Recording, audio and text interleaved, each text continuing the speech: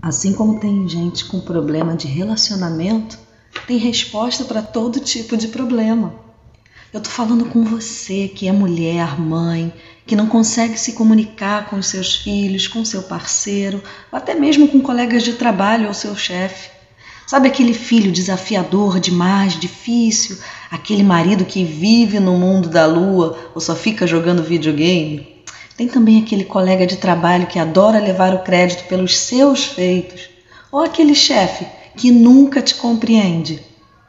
Se existe um problema de relacionamento, saiba que eu estou aqui trabalhando duro para te ajudar a entender e resolver isso. Resolver como se aceitar, como aceitar o outro, como entender o outro, como se conectar melhor com as pessoas, sem o medo de se sentir abandonada ou excluída. Conta comigo, viu?